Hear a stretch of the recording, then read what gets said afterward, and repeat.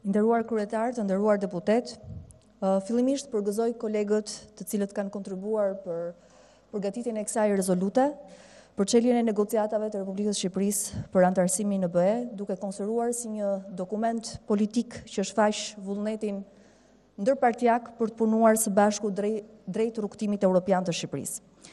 Ky dokument tregon mbështetjen që qytetarët shqiptarë kanë për Bashkimin Europian dhe është tregues i qartë se qytetarët e shohin Bashkimin Europian si aleatin e tyre strategjik dhe alternativën më të mirë.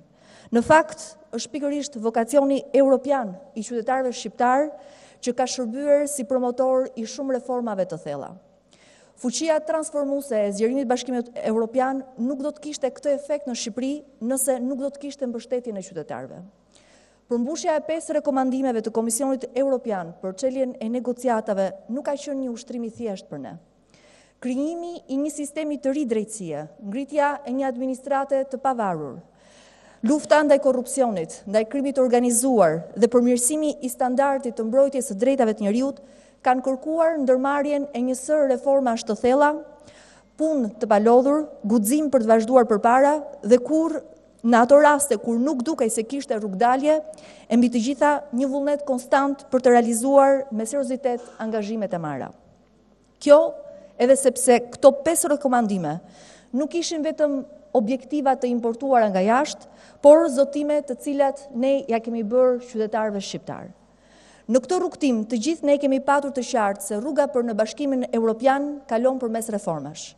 Dhe ne nuk e kemi parë Bashkimin Europian si instrument për të legjitimuar reformat në sisteme ku askush nuk kishte guxuar të hynte më parë. Dhe as si trofe. Pasi për ne, Bashkimi Europian nuk është mjet. Për ne është një destinacion, është një familje vlerash. Ndaj qasja jonë ndaj Bashkimit Europian nuk ka qenë instrumentale, por një ndërmarrje hapash të vendosur drejt asaj që ne besojmë se i përkasim. Ministria e Drejtësisë ka patur dhe do të ketë një rëndësi të veçantë në realizimin dhe në zbatimin e pesë rekomandimeve. Tre nga pesë rekomandimet kryesore të Komisionit Europian për çeljen e negociatave janë përgjegjësi e kësaj ministrie dhe reforma në drejtësi, lufta kundër korrupsionit dhe mbrojtja e të drejtave themelore të njeriut janë prioritete të punës sonë të përditshme. Dhe unë për këtë falenderoj stafin e Ministrisë Drejtësisë dhe të gjithë institucionet e pavarura me të cilat kemi bashkëpunuar për të realizuar objektivat e përbashkëta. Rezultati pozitiv i këtyre reformave u njoh edhe nga Komisioni Europian, i cili, duke u bazuar në analizën faktike dhe teknike të ndërhyrjeve tona, vlerësoi se Shqipëria i ka përmbushur kushtet për çeljen e negociatave me Bashkimin Europian. Kemi ende shumë për të bërë, pasi shteti i së drejtës, lufta ndaj korrupsionit dhe mbrojtja e të drejtave të njeriut janë objektiva të përhershëm me sfida të vazhdueshëm edhe për vetë vendet e Bashkimit Europian. Megjithatë, rezultatet e arritura deri tani as nuk mund të mohohen dhe as nuk mund të relativizohen për qëllime politike. Reforma në drejtësi, pavarësisht pengesave dhe goditjeve, vijon të mbetet një reformë mbresëlënëse e cila po shihet si model për t'u eksportuar edhe në shtete të tjera. E tillë vlerësohet kjo reformë vazhdimisht edhe nga partnerët tanë ndërkombëtarë, apo dhe nga delegacionet e shteteve të huaja që vizitojnë Shqipërinë për të mësuar më shumë rreth kësaj reforme. Vlerësimi pozitiv i Komisionit Europian dhe i partnerëve tanë ndërkombëtarë shërben si një nxitës për të vijuar më tej me po të njëjtën vendosmëri për sfidat e reja. Funksionimi i Gjykatës Kushtetuese, Gjykatës të Lartë, ngritja e SPAK-ut dhe Inspektorit të Lartë të Drejtësisë janë vazhdim i zbatimit të reformës në drejtësi. Vonesat në ngritjen e këtyre institucioneve, të ardhura shpeshherë për shkak të vonesave politike, ashtu si dhe proceseve teknike dhe shumë komplekse, siç është procesi i Vettingut, apo numrit të lartë të gjyqtarëve dhe prokurorëve të shkarkuar, shpresojmë që do të tejkalohen shumë shpejt dhe brenda vitit secili nga këto institucione do të mund të ketë filluar veprimtarinë normale.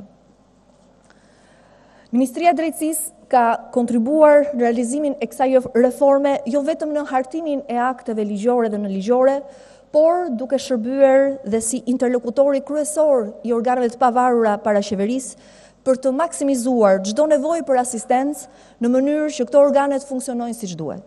Mbështetja e qeverisë për këtë reformë si nga pikëpamja infrastrukturore, logjistike dhe financiare ka qenë e jashtëzakonshme. Do të jetë kjo drejtësi e re që do të bëjë të mundur luftën kundër krimit të organizuar dhe korrupsionit, jo vetëm në Shqipëri, por edhe përtej kufijve. Ministria e Drejtësisë është kontributori dhe ndërlidhësi kryesor i marrëveshjes me Eurojustin. Falë ndjekjes dhe përmbushjes së kushteve të vendosura, Ministria e Drejtësisë ka mundur të hapë rrugën e bashkëpunimit të Shqipërisë me një strukturë transnacionale për hetimin e veprave penale përtej kufirit. Eurojust do të mundësojë një bashkëpunim më të mirë gjyqësor me juridiksionet europiane dhe bashkëpunim më të thellë në hetimet e përbashkëta. Si koordinator kombëtar antikorrupsion, kemi vijuar punën koordinuese dhe monitoruese për të arritur pikërisht rezultatet kryesore në luftën kundër korrupsionit, në tre drejtime kryesore, në ato parandaluese, shtrënguese dhe ndërgjegjësuese. Dhe aktualisht Ministria e Drejtësisë po merr ekspertizën më të mirë të Bashkimit Europian dhe po bashkëpunon ngushtë me institucionet e pavarura dhe shtetërore për të patur një plan veprimi që është ambicioz, por i realizueshëm. Dhe krahas task forcës, e cila ka vepruar si krahu ndëshkues i qasjes kundër korrupsionit, po punohet dhe për krijimin e një rrjeti antikorrupsion i cili do të përbëhet nga koordinatorë të vendosur në agjenci qendrore dhe vendore, ku perceptimi i publikut për korrupsionin është i lartë.